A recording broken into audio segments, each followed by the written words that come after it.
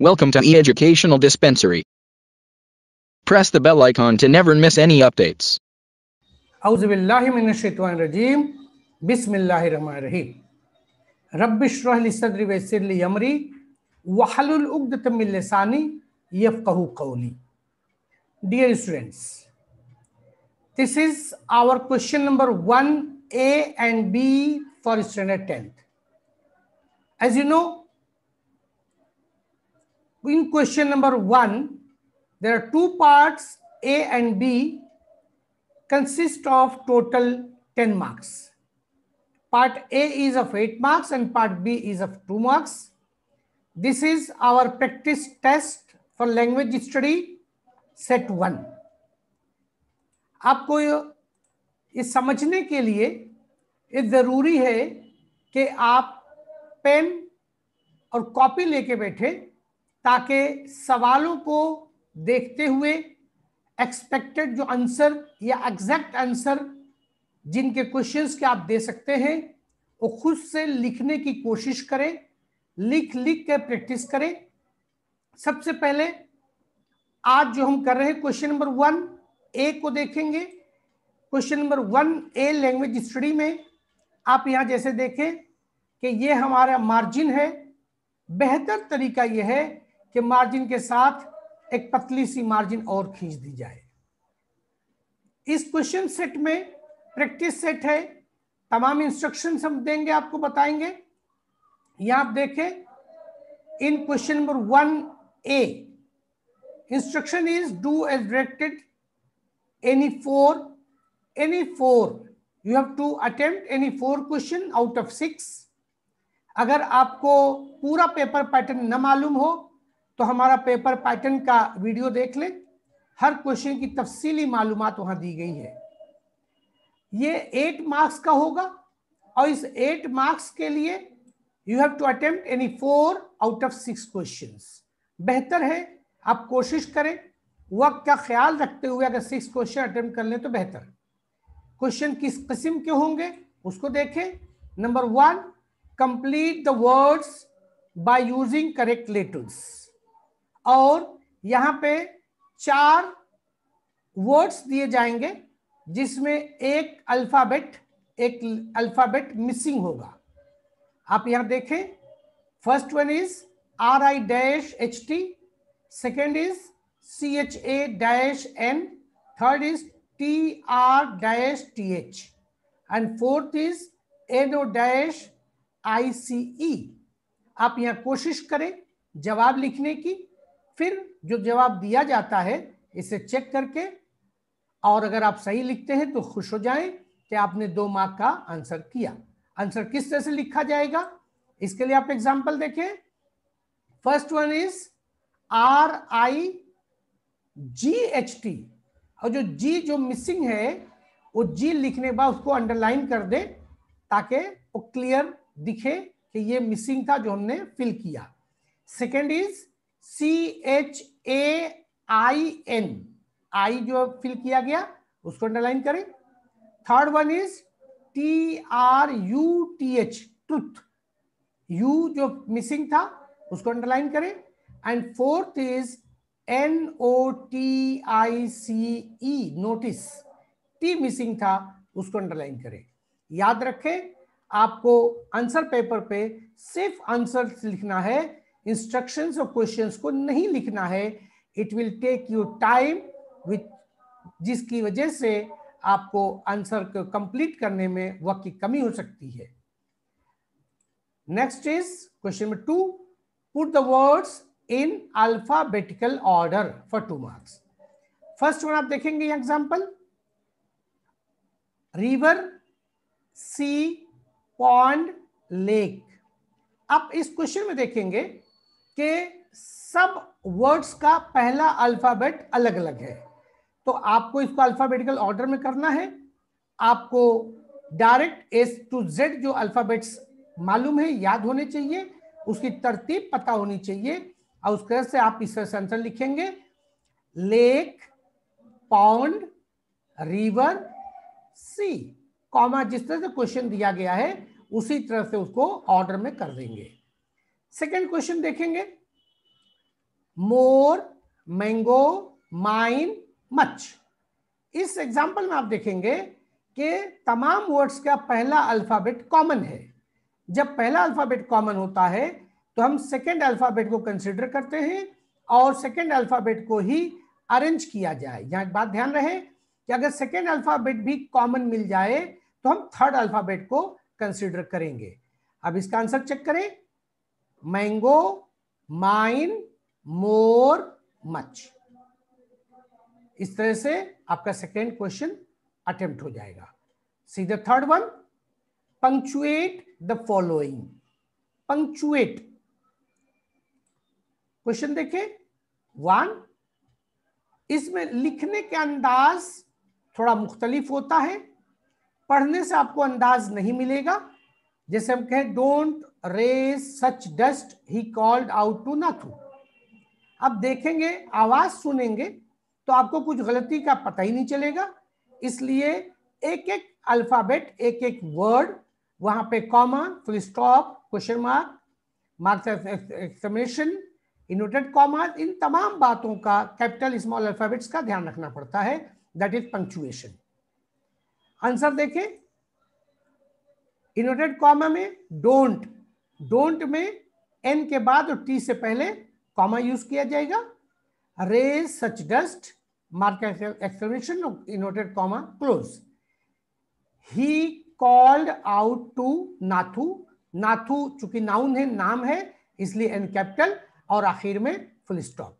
इस तरह से ये मुनासिब पंक्चुएशन मार्क इस्तेमाल किए जाएँगे तो ये आपका एक नंबर का क्वेश्चन हो जाएगा। Next is is that so said Mrs Shrivastava फिर से चूँकि पंक्चुएशन का सवाल है, आप देखेंगे तो क्वेश्चन से आपको गलती नज़र तो आएगी, लेकिन बोलने में नज़र नहीं आएगी।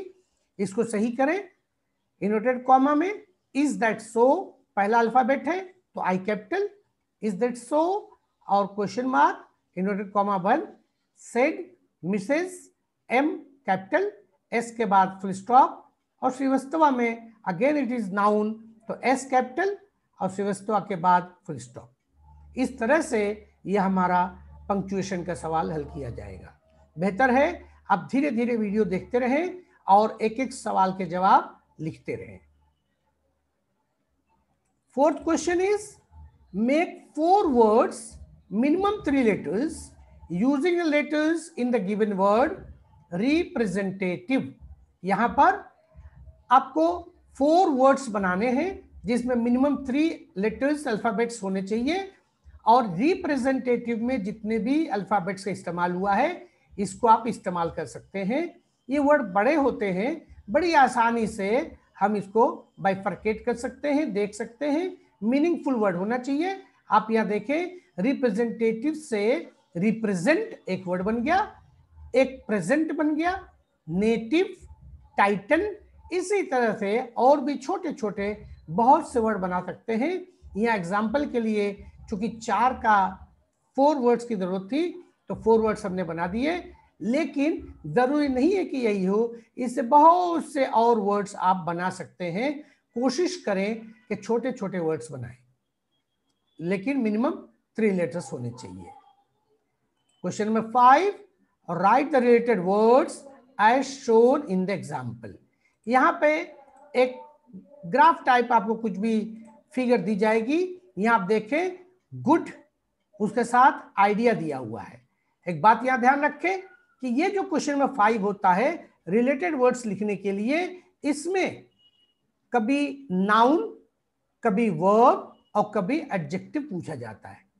इस बात का ध्यान रखें नाउन वर्ब या एडजेक्टिव तीनों में से कोई एक चीज़ पूछी जाएगी। ये आप देखें गुड के साथ एक मिसाल दे देगी आइडिया।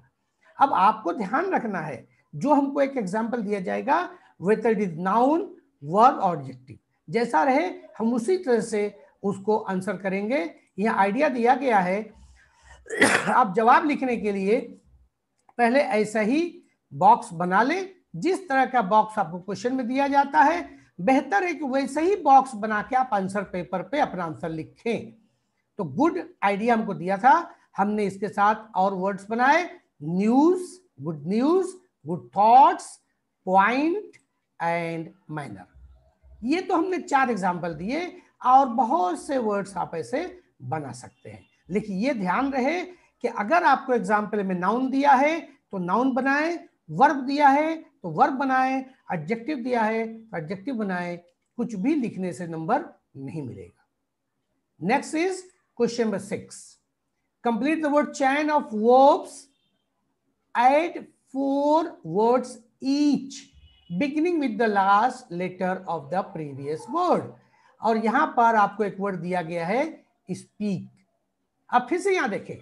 जिस तरह से क्वेश्चन फाइव में वर्ब नाउन एडजेक्टिव को ही आपको बनाना है, यहाँ पर भी कंडीशन दी रहती है और वही वर्ब नाउन एडजेक्टिव में ही आपको लिखना है। बहुत से बच्चे वर्ड तो देखते हैं और बाद स्पेलिंग को तो मिला करके वो वर्ड चैन बना देते हैं, लेकिन वो वर्ब है नाउन एडजेक्टिव इस बात को भूल जाते हैं। और समझते हैं, खुश होते हैं कि हमने सही लिखा, जबकि गलत हो जाता है। ये बात ध्यान रहे क्वेश्चन में हमको क्या पूछा गया है? वर्ब नाउन या एडजेक्टिव अब यहाँ पे फिर से बहुत से वर्ड्स बन सकते हैं। यह हमने एक एग्ज़ाम्पल के लिए आपको दिया है। कि वर्ड्स बनाना है स्पीक से वर्ब बनाना है तो स्पीक का आखिरी अल्फ़ाबेट आया के के तो के से हमने बना दिया कीप। इसका आखिरी अल्फ़ाबेट है पी पी से बना दिया पुट। इसका आखिरी अल्फ़ाबेट टी टी से बनाया टर्न। इसका आखिरी अल्फ़ाबेट है एन एन से बनाया नोट। तो हर एक बंदे का अलग अलग जवाब हो सकता है, लेकिन ये बात जो पहले हमने बताया कि नाउन वर्ड या एडजेक्टिव इस बात को ध्यान रखना निहायत ज़रूरी है। तो ये सिक्स क्वेश्चन थे। सिक्स क्वेश्चन में से हम कोई भी फोर क्वेश्चन हमको सॉल्व करना रहता है फॉर एट मार्क्स लेकिन आप बेहतर है, अगर वक्त का ख्याल रखते हुए तेज़ी करें तो छह क्वेश्चन कर लें। अगर कहीं छोटी मोटी कोई गलती नंबर कटे तो वो नंबर कटने के बाद भी हमें पूरे नंबर मिल सके। Question number one B do is directed for two marks attempt any one question देखिए A make a meaningful sentence by using the given phrase एक फ्रेज दिया हुआ है, इसका यूज़ करते हुए मीनिंगफुल सेंटेंस बनाना है टू आस्क फॉर हमने एक सेंटेंस बनाया don't ask for anything ask for का यूज़ किया और एक सेंटेंस मीनिंगफुल बना दिया गया। आप इससे बेहतर अलग बहुत किस्म के आप मीनिंगफुल सेंटेंस बना सकते हैं। हमने एक एग्जांपल के लिए बताया। आप भी कोशिश करें। और, यानी इसी में ऑप्शन है। आप ए करें या बी करें।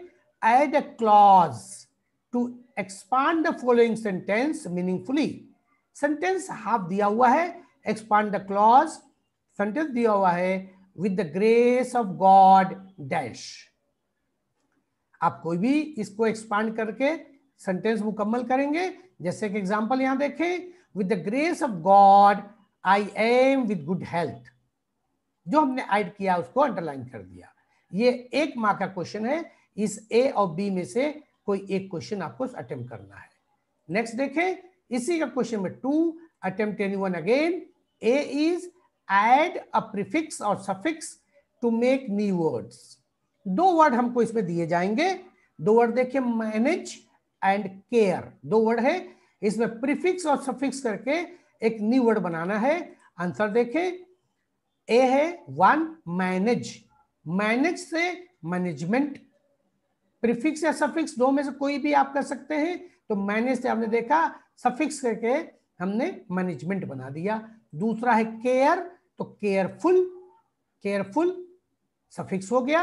और केयरलेस में बना सकते हैं आप। कई एक जवाब हो सकते हैं। इसके आपको एक मार्क्स मिल जाएँगे। या इसी में ऑप्शन होता है, आप चाहे इसको क्वेश्चन देखें make a meaningful sentence using any one of the following words same वही वर्ड दिए जाते हैं। ए पार्ट में दोनों में, दोनों को करना आपको प्रीफिक्स या सफिक्स और बी पार्ट जो होता है, उसमें make a meaningful sentence using any one of the following किसी एक को यूज़ करना है, यानी एक सेंटेंस बनाना है। फॉर वन मार्क्स वर्ड वही दिए रहते हैं। आप दोनों के जवाब देख लें। वन है मैनेज तो सेंटेंस बनाया गया। Try to manage your work properly आप कोई भी इससे अलग सेंटेंस बना सकते हैं। ये एक एग्जांपल है। दूसरा है केयर तो do take care of your brother ये एक एक एग्ज़ाम्पल हमने बता दिया।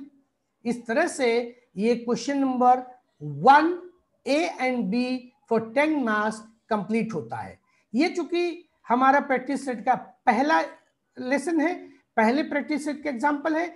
इसलिए हम ये चाहते हैं कि आपको आंसर पेपर पे क्या लिखना है और क्या नहीं लिखना है, किस तरह से लिखना है, उसकी भी एक मिसाल बता दें। ये एक बार हम बताएँगे अगले वीडियोस में, इसके हम इंशाल्लाह पाँच वीडियो बनाएँगे फौरी तौर से। लेकिन अगले वीडियोस में आपको हम आंसर का पेज नहीं दिखाएँगे। आंसर डायरेक्ट हम बताएँगे। अगला पेज अब हम देखें कि इस तरह से, ये हमारा आप सपोज़ कीजिए, ये आंसर पेज है और यहाँ पर आपने देखा कि हमारी मार्जिन मेन जो दी हुई है, ये सेकेंड मार्जिन, फिर क्वेश्चन नंबर वन ए, और वन ए के बाद जो इंस्ट्रक्शन है, क्वेश्चन है, नहीं लिखा जाएगा। डायरेक्ट वो क्वेश्चन के क्वेश्चन का नंबर लिख करके आंसर लिख दिया जाएगा।